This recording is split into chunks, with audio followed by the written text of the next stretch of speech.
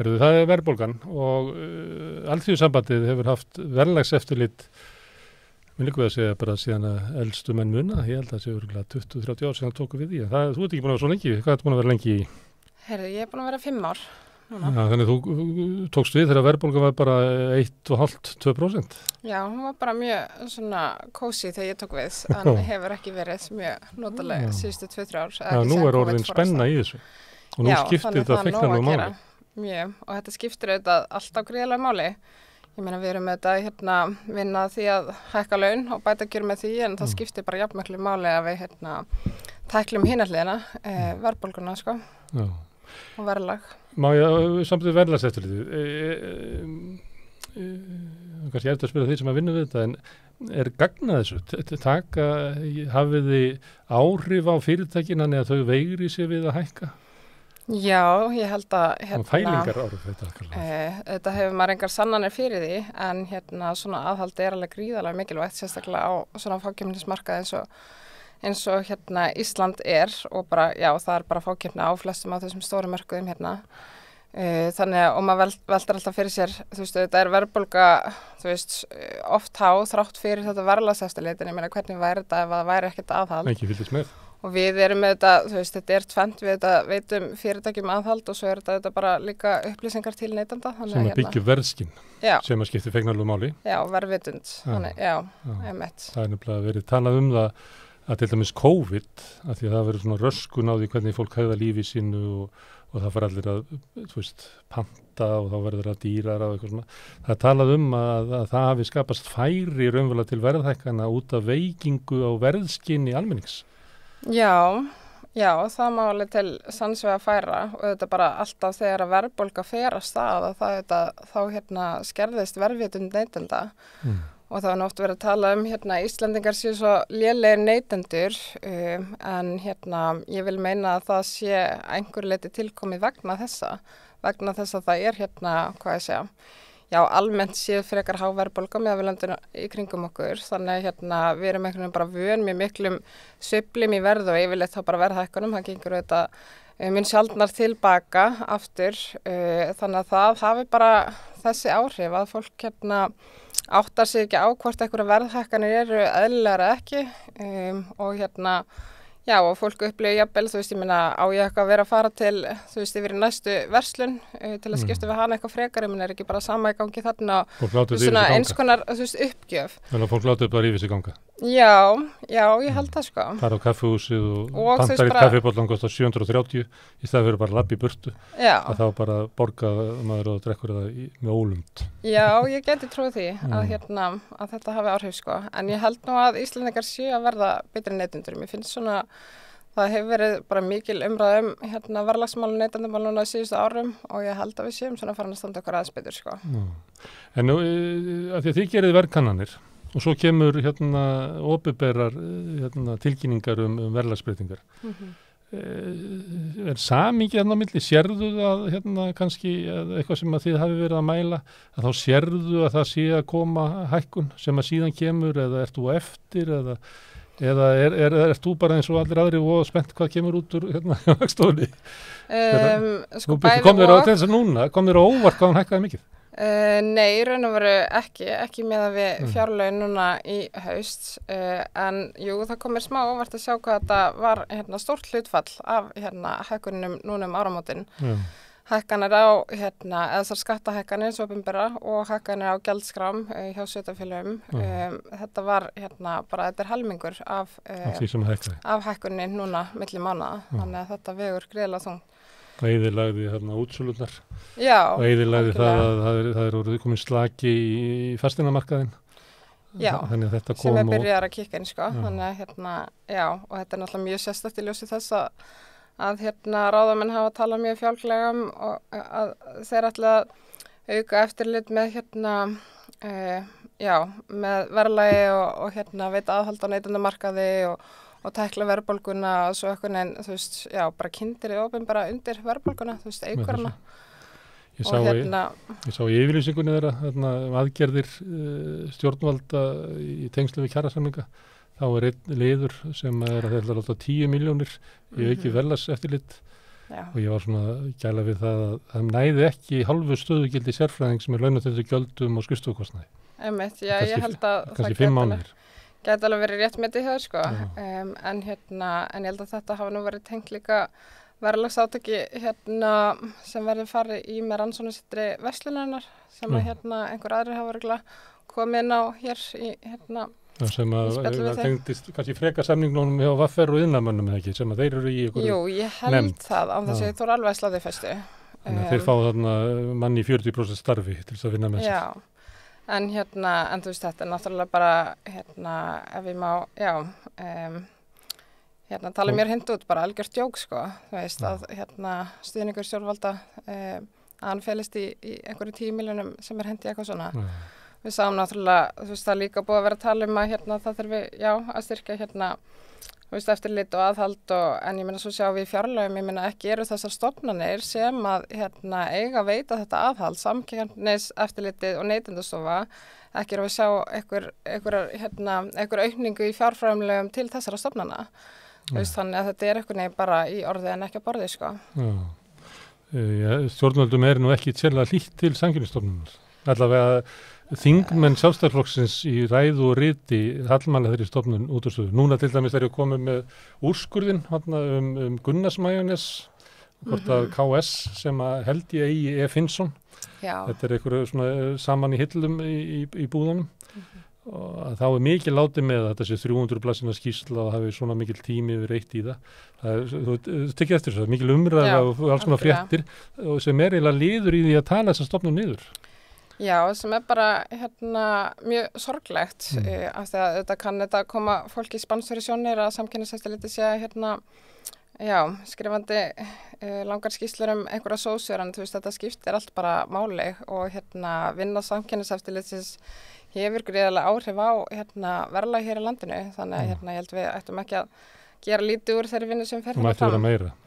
Já, og hérna, og ég held að það alveg nokkuð víst að samkenniseftirliti myndi vilja hafa meiri tíma til þess að, hérna, uh, fara í frumkvæðis rannsóknir á mörkuðum eins og, hérna, á þessum fákennismörkuðum, matverumarkaði, elsnitsmarkaði, tryggingamarkaði og svo frammeðis, en máli er að, að hérna, mest allir, já, er þú bara já, það getur verið henni allt kvöld, sko, að telja upp Um, en hérna, máli er að þeir þurfa að forgangsraða þessum samræna málum uh, Mm. og þeim er svo þröngur stakkur sniðin vegna lára fjárframlega að þeir hafa eða ekki tíma í neitt annað, veist, þannig að þetta er bara hérna, uh, já, í bóði ríkisins að hérna, að aðalfókusi liggur í þessum samræna málum mm. að þeir hafa ekki og þetta, er í raun og veru, þetta voru nýðustöður skýslu ríkisendurskoðunar uh, um starfsemi samkynniseftilitsins uh, sem að hérna þingmenn sjálfstæðsflokksins emitt spenduði sérstaklega Mm. af því að þeir vildu að það erði hérna að starfsemi stofnunarinnar er það rannsökuðan í kjölinn sem er auðvitað bara gott að blessað og hérna gott að fá útættir á, á öllum þessum stofnunum hér á landi uh, en þetta var niðurstaðan að uh, vegna fjárskors og þá hérna, hefur sanginniseftilitið ekki tíma til þess að, veita það eftirlit sem er svo mikilvægt til þess að Mm. hérna, halda verðlagi hér á landi lágu. Mm. Það er hann að þau sendu frá sér, veit ekki alveg hvað það heitir, það var svona, eh, eitthvað svona greinagerð um hérna, verðbólgu og samkjæmni 22. desember Já, sem við vorum eitthvað að vitna í, í, í á samstöðinni.is. mm Uh, það sem er eru svona að eiginlega draga upp svona myndir, til dæmis á maturumarkanum, það sem er bara verið að auka álægninguna eða framleiðina sem að setur eftir. Bara mjög, eh, ég veit ekki hvað það sé hægt, en mjög bítandi. Já, þeir fóru á stað í þetta núna í vor um, og hérna, og þetta bara kjölfarið af eh, sko, umræðu um að hérna, hvað ég segja, uh, að frambóða eftirspyrn, þú veist, vegna hlýruna á frambóði og eftirspyrn í kjölfar COVID, uh, að þá hafi, hvað ég segja, já, svona samkemnis aðstæðar einhvern veginn breyst, þannig að, og skapast mögulega tækifæri fyrir Vestlandi til þess að hækka álagningu. Mm. Uh, þannig að þeir fara í þessa aðtöðin þar sem þeir eru að skoða þróun á framleið yfir tíma uh, á þessum mörkuðum maturumarkaði, eldsnýttismarkaði og svo á byggingarverumarkaði og eru þá að skoða hérna, já, timbur sérstaklega Já. og já, það má sjá þarna að Það var svona eiginlega eh, besta útæktin var á maturumarkaði, fannst mér. Það var svona skýrust. Já, Það var svona eins og þeir kíktu aðeins inn í byggingavörunar og svo voru þeir byrjaðir að hérna, vitna í, í bensínvakt kjarnans inn í eldsneitinu. já, Það var eins og svona, það var eiginlega búinn svona orkan eða tíma sem við höfðu í þetta. En, en einmitt. það sem kom fram í maturu var bara sláandi, sko. Já, það er kannski, það er líka með, svolítið mikið fjallað um elsnættismarkaðin Mm. og hérna nú þegar þetta, þú veist, FIB fylgist vel með bensinverði og hérna, uh, en já, það voru mjög áhugaverið niðurstöður varandi matverumarkaðin Mm. og það hérna meðal annars að sagt, framleið hefur aukist hjá maturverslunum Mm. á sama tíma hún hefur lækkað hjá uh, heilsölunum. Uh, en við myndum að heyrta að hérna maturverslanir benda þetta sífælt á, eða já, oft allavega á heilsaluna þegar að hérna, Það var alltaf þannig í gamla daga, mann ég. já, Já. og hérna, og auðvitað, þú veist, uh, hækka heilsalir væntalega verða eitthvað og hérna, Mm. einhver hluti af þessu verðhækkunum sem hérna hafa verið síðustu ári eru tilkomnar vegna hækkunar hjá heilsulum, Já. ég er ekki að segja annað. En það kom Eh. líka fram að, hérna, að álæningin var minnst gagvart, uh, vörum sem voru framleitur í, í Íslandi Já, og maður sem svona amatur velti því fyrir sér og það er ákveð aðhald hjá framleiðandunum ef að þú framleiðir Gunnars majónes að þá ert þú með aðhald að, að sko sé ekki verið að leggja alltaf mikið á það í búðinni. Þannig að það sé eitthvað svona síðan koma heilsalarnir sem þau keiftu heilsalana og kannski er eitthvað aðhald þar. En þegar búðina flytið inn sjálfar að þá fyrir álæningin alveg upp í topp sko. Já. Þegar- En máli er á maturumarkaði núna og um, það kom skýrsla át ára 2016 uh, sem samkynniseftilitið gaf út um dagverumarkaðin Mm. að hérna þarf að svolítið vera að fjalla um þessa þróun uh, þegar að hérna láguri verðsveslanir eru orðnar svona stór hluti af markanum að þá eru þær með svo mikið hérna, uh, hvað ég segja, já bara vald að í raun og veru heilsalanir eru farin að keppa sem Já. að koma sínum vörum Mm. í hérna hillur um, þannig að já, valdi liggur svolítið hjá þeim Já. og svo sáum við í, þessari skýslu sem þau gáðu núna í desember uh, að að álagningin er mest á þeim vörum sem að vestlanar panta sjálfara Já. utan og hérna merkja sér, þú veist, Mm. segjum bara bónus eða krónu þú veist, vörur, þú veist, pilsubreið eða eitthvað, hérna, eða eitthvað annað, það er nú vantalega Mm. millu pilsubreið á þess að ég veit það. Mm. Uh, já, merkja sér sjálfar af því að hérna, veist, þá er það ekki að kaupa af heilsulum og geta Já. stýrt þessu betur, sko. kannski þessi vörumerki sem eru víða eins og Euroshop er og eitthvað svona sem er hlut inn líklega er átt við þær vörur sem Já, eru með eitthvað, held ég, 37% álæningu Já, er ekki líka verið að tala um það sem er merkja sér bara sjálfur. eins og, eh, já, er það ekki mest svona innlendi, ég er ekki alveg Já, kláður. getur verið, ég er kannski örgulega svo Svo saman. bónuskjúklingur og eitthvað svona Já, það er það. já, getur verið. En allavega þá þetta skapar þetta þrýsting Já. á hérna uh, heilsalna hér heima, þannig ég held að hérna, hvað ég segja, að það sé tölvið samkeppna milli heilsala, sko. Já, já. Og hérna, já, En er ekki þegar maður skoða þetta og þegar þú ert að skoða svona þessar verkanar og svona, þá er álæning er óþarlega há hérna, ekki?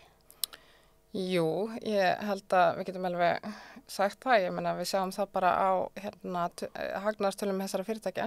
Eh, eins og hérna, já, já, bara hjá högum og festi til að mynda sem eru þetta bæði með hérna matvöru og, og hérna elsnetið, að þetta eru tveir eh, Mm. stóri fagjarnismarkaðir og hérna líka samt nöysina vara sem er Mm. verið að hérna vesla með. Uh, og svo þú veist, getum við heldur og ekki þá er ástæðan ekki svo að Íslands er langt frá öðru löndum og meiri hlutningskostnum, við erum bara að tala um álæningun inn í búðinni. Ég held að þessi flutningskostnar sé mjög oft hérna ofmetinn Mm. uh, en auðvitað hérna, ég menna vantanlega er flutningskostnar samt aðeins herri en svo er líka, líka fákjæmni í flutningum. Veist þannig að þetta er einhvern veginn alveg hérna nýður alla keðjuna. eins og sést á reikningu til dæmis Eimskip sem að græðir stórkostlega í COVID.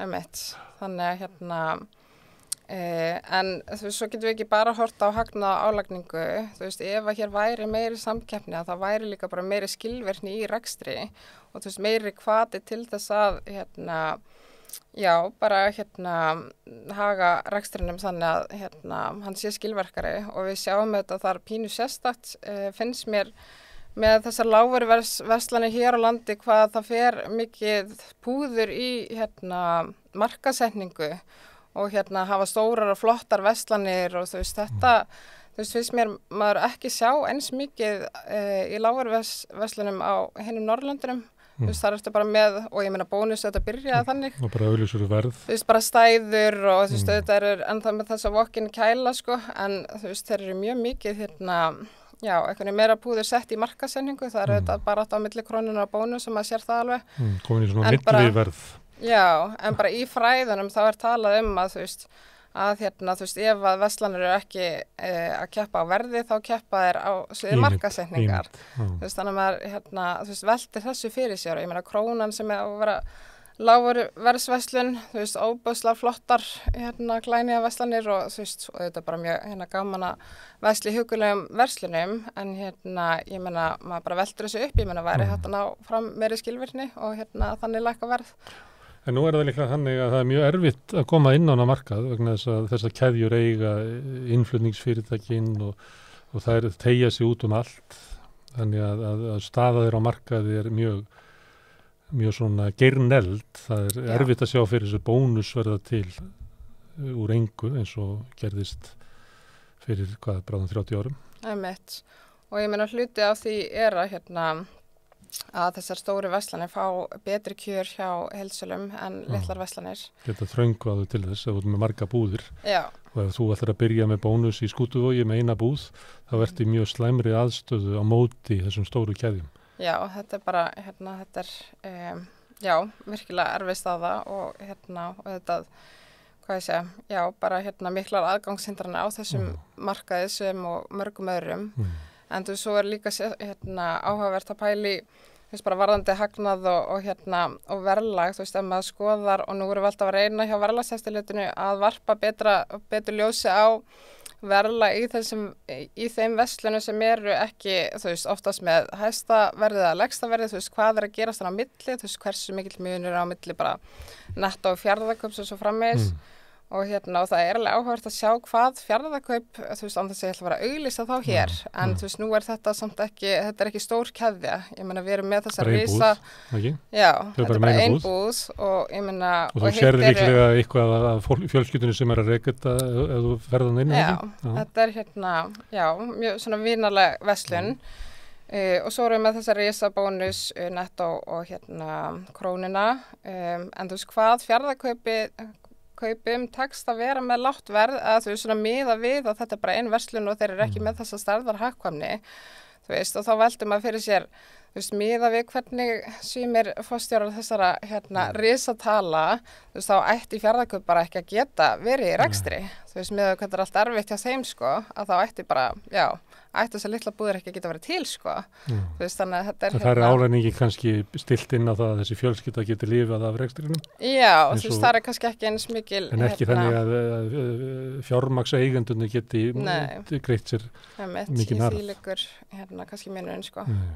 að fjölskyldan vinnur það einhverju leiti þannig að Mhm. að taka þau bara á launum Já, Þannig að við kannski getum, kannski skoðum við reikninga fjárðaköps og berum það saman við hitt. já, já, einmitt, það var áhugavert Mm. og hérna BHM var nú með áhugaverða samantækt þar sem við voru hérna, já, að eh, taka saman er að veru, já, var að skoða, um, já, bara hagna þessara veslana Já, síðustu ár og, og það er mjög áhugavert og við hefum gert það og, og hefum oft vísað í hérna, ásrækninga þessara fyrirtækja. já, það Að, er stóru. hérna, Já, Þú ert búin að vera inn í fimm ár, hvernig kom Costco? Það á- aðeins fyrir þann tímað ekki. uh, nei, var það Hver ekki voru bara Costco áraðin? Því vorum að 2016? tala um að koma inn á markaðin. Nei, Costco jú, kom. það verið 2016 Já. eða Þú hefur bara komið 2000 alveg, Það verið 2017, já, ég kom Já. þarna alveg um það leiti. Já. Þá komu þeir inn með, með trukki og buðu upp á mun- munlægra verð. Það var upplöfun almennings. Já, og það sást nú alveg hérna sáist breytingar hérna greinilegar á vísitölinu Um tíma. neysluverðs, já, um Um tíma, tíma. Uh, að verða á matveru lækkaði um, hérna, já, uh, yfir nokkra mánuði en svo fór það að rísa aftur Já. og hérna, og verðið í Costco að hækka. já, þannig Þannig að munurinn á Costco og hínum er ekki eins mikill og var í upphafi. Nei, og svo þetta getum við ekki alveg borðið þessar veslanir saman af því að uh, Costco er, hérna, þú veist, það er erfitt að fara í Costco og kaupa allt inn sem þú þart, þú veist, þú þart til að fara í eitthvað aðra búð til þess að, Mm. þú veist, bæta í, þú ferð ekki og gerir öll matringupið þar, Uh, og hérna við höfum ekki verið með Costco í öllu verkunum hjá okkur af því að þú veist uh, það er svo erfitt að finna korfuna já og það er endur ekki samanbæra hæft ég menna þú veist ég get farið inn í bónus og hérna þú veist ég er ekkert skuldbindin uh, bónus að þarf ekki að kaupa mynd til þess að geta vestlaðar mm. þú veist ég get farið inn og kemst bara eitthvað smáttri og farið út. Mm. en þú veist ég þarf að kaupa kortið og greiða fyrir hjá Costco Þannig að hérna, já, þú veist, hvernig setur það, reiknar það inn í verðið, þú veist, ég meina það kostar í raun að vera að hafa aðgangað veslunni mm. og svo eru þetta verið úrvalið hérna allt annað fyrir utan að, þú veist, þetta hérna pakningastarðinar, uh, já, þú veist, e, eru bara, já, risastórar og hérna, þú veist, að fólk þarf við þetta að það þarf að vesla bara í Costco og þá þarf þetta bara að vera með lagar heima hjá þér já, og þetta náður fram hérna uh, lagra verði með mm. þessu. Ég heyrði að fólki í raðhúsi sem að veslaði inn saman og skipti svo. Það er svo þegar að koma út út í Costco þá voru það að skipta hambúrgurur á milli sín og öllum þessu stóru bæl. Jú, maður hefur heyrt þetta og þetta er hérna Já, lest mjög sniðið þetta margir sem nýta sér þetta en ég held að það sé líka bara veist minni fyrirtæki og svona sem að veslega á Costco. Já, og uh, fyrirtæki sem er í smásólu eins og Extra sem er með vörur frá og endurselur bara notar Costco sem heilsara. En, en er það ekki líklegt að hafa verið þannig að þegar Costco kemur inn að þá komaður inn á lagra verði segjum bara 20%, uh -huh. svo eru búin að ná sinn í 10% markaslutild, þá er annarkort það að opna bara nýja búð og halda áfram eða þá segja býtu þannig óþarið fyrir okkur að vera að gefa skunanum öll þessi 20% það er nóg fyrir okkur að vera bara 5% undir og taka þetta, þessi 15% hérna í aukna framlegð. Jú, jú, það verður eitthvað svona, hérna, þú þeir bara svona skinja markaðinn og eitthvað finna sér bara þægilegan, þægilegan mm. stað hérna mm. Á honum og þurfa kannski ekki að, hérna, í raun og vera að hafa verðið eins mikið laðra og þeir heldu í fyrstu til þess að, þú veist, vera eitthvað stuð á markaðinum, mm. sko, þannig að Ég sá eina setningu, held ég að verið síðast eða áður kannski, þú veist með -hmm. jólamatinn held ég síðast, svo var eins hérna, í tilkynningu frá okkur áður, þá var eins setning að það vekti aðtikli að í mörgum vörutugundum munnaði bara einni krónu á krónunni og bónus, að króna var einni krónu dýrari. Þú kannast við þessa sögu sem að sagði hérna fyrir mörgum árum að ástæðan fyrir að krónan hétti krónan mm -hmm. var að það var í samkomla á markaði að, að það var alltaf einni krónu dýrari, annars var í bónus í, í samkjömi. Já, ég menna, þú veist, um, án þess að ég geta alveg slegið fyrstu þá hérna, held ég að uh, við getum alveg, hvað ég segja, gískað á að það sé svo, að það sé mm. eitthvað skonar þegjandi samkómula án þess að þeir. Það þurfi ekki að hittast upp í... í nei, nei, en bara krónar far ekki, það var náttúrulega hérna fyrir mörgum árum, ég veit ekki tíu árum eða svo, um, hérna verð stríða á milli krónar að bónus mm. og hérna og, uh, og þetta er auðvitað þekkt á svona fákjöfnismörkuðum að hérna Uh, að það borgar sér ekki fyrir fyrirtæki að fara í eitthvað verðstríð ekki fyrir eigendunir þannig að hérna þannig að já, þetta verist það að vera svona verið lendingin uh, en þetta eru þetta þær vöru sem eru hérna, við erum með þetta mikið að kanna vöru sem eru mikið kjöftar uh, og svona vinsalar og Já, það er oft hérna krónuminur þar á milli og þetta eru, það eru verið sem fast í báðum vestlunum mm. en svo um leið og ert kannski komin hérna, uh, já, út fyrir þetta og ert farin að vestla verumerki sem að fást ekki hinn í vestlununa þá er verðið oft töluvert herra, þú veist, þannig að fólk verður líka að passa sig á því að hérna, þú veist, þó að þetta sé uh, hérna, komið fram í okkar verðkunnum þá hérna gildir þetta ekki um allar verður. Verða herra þá í króninu eða? Um, já, ég, hérna, já. eða þú veist, já. Bónus er ennþá ótrúið það búinn. Já. Í ykkar konunum. Uh, já, en það er, hérna, eins og ég segi, þú veist, þetta er ekki bara veru sem eru til í báðum veslunum, en svona, hérna, meiri hluta, þannig, en þetta er eitt af því sem við, hérna, ætlum að gera meira af að skoða, þú veist, að ná betur utanum þessar veru sem að, um, hérna, eru ekki til í öllu veslunum, mm. þess að fara út fyrir þessi vinsalu verumarki, mm. þannig að. Og því kannið ímislegt annað líka óbyrbrað þjónustu, ég man eftir konun á, á dagvist sem að var rosalúminur Já, þar á hérna við gerum uh, verkannar á um, leikskólagjöldum og skóladagvistun eða frístund er þetta skalla og það er mikil munur Já, mjög mikil munur um, Hvað finnst þér um það? Hvað sér þau? Því að nú er þetta verið að tala um hvort að e, fólki í eblingu er að fá staðar upp út fyrir að bú í Reykjavík Mm -hmm. Finnst þetta óréttlátt að, að fólk á seldanensi borgi næstu í tvöfalt leikskóla gjald á við þá sem bara byggu að annars þar eða?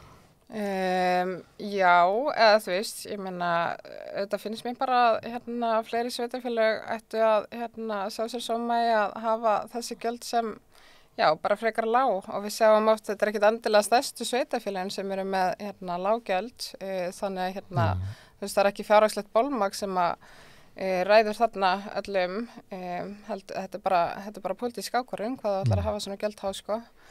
Það vantar eiginlega að það kannski hittir þetta mestum máli hjá þessi einstæðan fóruldrum og, og, mm -hmm. og barnafjölskyldum. Það vantar eiginlega svolítið rött einstæðan fóruldra og, og barnafjölskylda inn í umræðina. Já, ég er samanlega því og það var eitt sem að hérna, við rakum augun í, e, í fyrra og við hérna, skrifum um að, e, að hérna, einstæði fóruldrar fá sagt, afslátt af leikskólagjöldum voru að mm. borga tölverð læri leikskólagjöld í flestum setafélagum, eða öllum held ég, en afslættinir eru mísmiklir eftir sveitafélögum eh, en svo þegar bönn fara í grunnskóla og byrja í skóladagustun eða frístund að þá hérna, er allt í náttúrulega ekki afslættir fyrir einstæða fóreldra eða mjög fáum tilfellum mm. þú veist, hvað breytist þarna? Ég menna, fóreldri er, veist, ég menna það er anþá fyllt af einstæðan fóreldrum með bönn á grunnskólaaldri, þú veist, það er ekkert sem mm. breytist þarna mm. en hérna, en um, já, ekki þessir afslættir En hvað gerir verkefnisleifingin við þessu upplýsingar? Hvernig getur verkefnisleifingin uh, barist fyrir því að, að, að barist gegn verðækunum,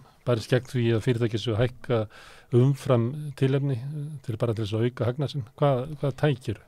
Um, sko, bara þessar samantæktir eins og ofinbæru gjöldum, uh, þetta þetta liggur fyrir og hérna oft tekur pólitíkin við eins og með þessi ofinbæru gjöld og hérna uh, og bæja fulltrúar uh, eða borgarfulltrúar hérna, taka þetta upp og hérna benda á og við hefum alveg séð fjallað um þetta í skýslum hjá Reykjavíkuborg og, og svo frammiðis þannig að þú veist það er alveg fylgst með þessum útæktum og þetta skiptir máli uh, og sveitafélagin eru þetta líka að kjappa um hérna íbúa þú veist mm. þannig að þau leitast þetta eftir að hérna að hérna, já, bjóða upp á góð kjör fyrir barnafjölskyldur og svo frammeð sko, mm. þannig að hérna, þannig að þetta skiptir máli mm. þannig að við allavega, já, við ekki um aðegli á þessu Uh, og svo þetta höfum við hérna, þú veist, þetta er þetta eitt af þeim tólum, ég meina við erum hérna með barnabætur og, og hérna, já, ég mis svona tilfærslukerfi, að velfærakerfi uh, og þetta er þetta einn leið til þess að hérna bæta hag uh, barnafjölskyldna og þú veist að verja þessa kannski viðkomistu hópa, það er að hafa þessi göld hérna sem lægst, mm. þannig að og þetta er mikil umræða líka í sambandi við skólamat, við skvart hann er að vera frýra sem frammeins, þetta skiptur auðvitað bara gríðarlega máli fyrir hérna kjör mm. fólk sko. Já, sérstaklega barnafjölskyldur og einstæði fólk sem eru með mestu útgjöldinn og, og kannski skulda mest á sama tíma, er ekki komin inn á vinnumarkaðinn og ekki kannski með sömur laun og fá setna, setni hluta efinnar og mm -hmm. þarf hann til goturum. Já, þetta eru bara gríðarlega háar uppæðir, við erum að sjá að að sko þú veist á hérna, ársbasis þú veist er kannski að muna 200-300 krónum á því mm. hvað fólk er að borga í þessi göld þú veist ég meina fjölskelda með þrjú börn að hérna já er að borga þú veist kannski einu þessu sveitafélagi hinn í öðru sveitafélagi uh, og hann er að borga þú veist já 200 krónum meir en hinn mm. þú veist bara fyrir nákvæmlega sömu þjónustu eða þú veist þannig mm. þannig að hérna já þetta skiptir bara gríðilega máli ég meina þetta er bara eins og hvað, árslaun, þú veist, nei, hérna, mánaðalaun, þú veist, lálunafólks og bara millitekju, sko, í raun og veru, kannski, já, láluna. Verður auður, takk fyrir að koma hérna við Rauðaborðu og segja frá verðarsætturinn. Bara takk hjá það fyrir mig. Dýrtiðinni sem er að naga okkur.